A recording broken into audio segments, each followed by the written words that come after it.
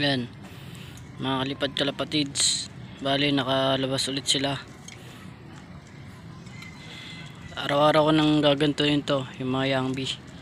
Para masanay na sila dito sa paligid ng loop nila. Tapos, para hindi mailang sa akin, pinapatuka ko. Napatuka ko sila dito sa ano, para pag narinig nila yung kalog ng patuka, mabilis lang sila, sanay na sila. Tapos pinapatuka ko din sa kamay ko para umamo. Para hindi mahirap magpapasok ng kalapate. Pag sa mga ano na, laban na. Kasi mahirap magpapasok ng ibong kapag mailap. Tapos di sanay sa'yo. So ayan mga kalipad.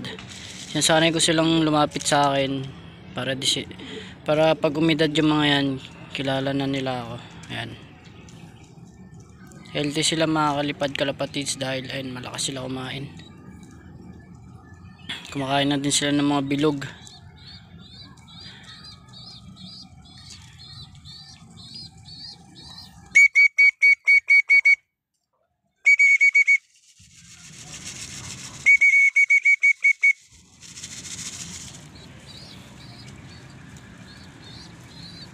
So ayun lang mga kalipad kalapatids. Masyadong mahaba na tong video.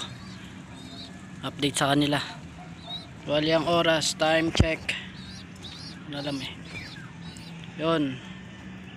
5.30 na Mga kalipad kalapatids. Yun lang. Bye bye